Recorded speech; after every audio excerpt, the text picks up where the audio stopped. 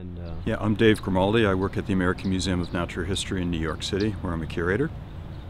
And uh, one of the, the, the, groups of flies that I'm really interested in are Drosophilidae, which everyone knows as Drosophila melanogaster. What most people don't know is that there are actually about 3,200 species of Drosophilids, um, most of which can't be cultured in the lab. And uh, there's quite a diversity of them. Uh, Drosophila is just, just, just one species. Awesome. And um, so when you're out in the field, how, like, what are you gonna, where are you gonna be looking, and and how are you gonna be collecting these in the field? Uh, when I collect Drosophilids uh, in the field, I generally sweep uh, with my with my net, and you find uh, wild species congregating on um, damp leaf litter. Uh, you find very particular species um, in flowers where some species breed. They can be very, very specific. Some of my favorite kinds of species are, uh, they come to fungus, different kinds of fungus. Um, and there are even species that um, live on the nymphs of spittlebugs. Uh, so they can be very specific and they have very, very diverse life histories. So I use a variety of collecting techniques. That's awesome. Um, and how do you um, go about in identifying uh, the species of fly that you're working with? So when we collect the specimens, put them in, in little vials of alcohol, take them back to the lab, and we'll dry them carefully, mount them up, sort them um, underneath stereo microscopes. And first we sort them grossly to uh, external features, um, and then we do little, little tiny dissections uh, of their reproductive parts. Um, and usually it's the males that are very, very complex.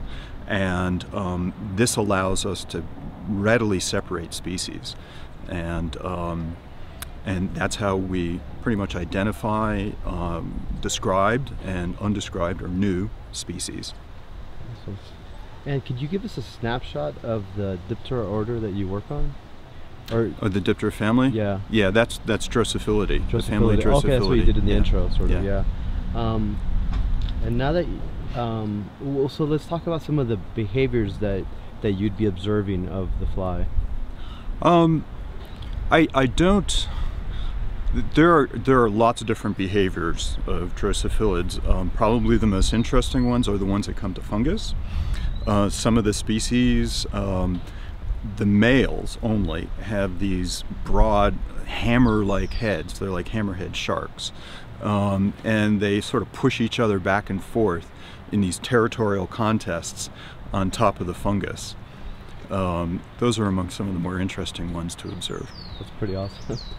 um, and could you just talk a little bit, this kind of broadly, I mean for like a broader audience, but why is um, collecting and observing flies important and, and why is it good to study them? Well, it's, you know, why do any of this work? Why look at little tiny flies like Drosophilids in the tropics, things like that? Um, first of all, it's for its intrinsic knowledge to understand biodiversity. Um, you, you can't uh, understand what you don't know. Um, secondly, you never know when you might encounter another uh, Drosophila melanogaster type of species, a species that will provide tremendous insight into understanding the genome or some other profound aspects of biology.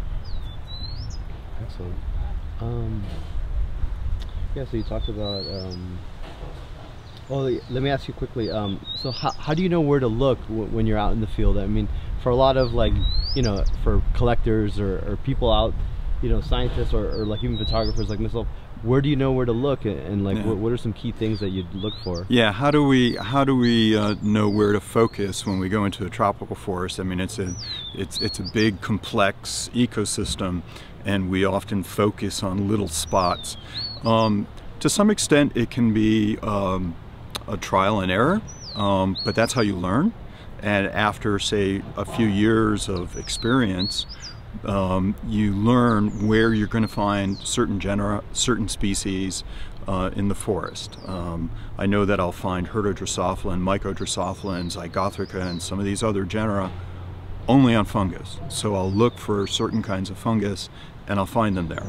And I know that I'll find other genera in certain other kinds of spots on different hosts Um, so you, you zero in on the hosts where you think that they will be congregating. Awesome. And um, just finally, how important is the INBio lab and the collection here and, and the whole ZADBI project? Um, you know, how is that important and how does that help you with the work you well, do? the ZADBI project is, is, is of significance because it's focusing on this particular forest, which seems to yield some really interesting rare species um, that I haven't seen in my 20 years of working on the Costa Rican fauna. Um, the INBio, uh, INBio has a wonderful collection of insects um, that are beautifully mounted up by parataxonomists who have spent painstaking years mounting up this material uh, from around Costa Rica. So that collection is, is of great importance for comparing uh, to the material found here in Zurqui and um, to see how narrowly restricted the species here in Zurqui are compared to Costa Rica in general. Awesome, thank you. And um, do you, is there something about yesterday that you want to talk about, or, or, or they asked me that you guys made a finding yesterday? Do you guys want to talk about that at all? Or? Oh, I, I, would say you know in Zurqui, to me some of the most exciting finds is you know there's we found a couple of species.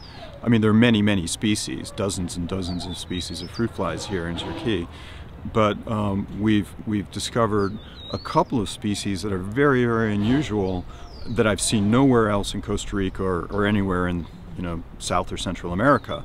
Um, and they're two unrelated species where the males have these broad heads, where the eyes are kind of on stalks, um, and and it's just the males, and it's uh, it's kind of like these species that that come to fungus, only they're unrelated to them.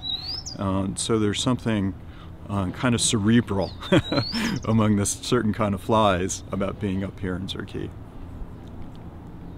Awesome. Thank you so much.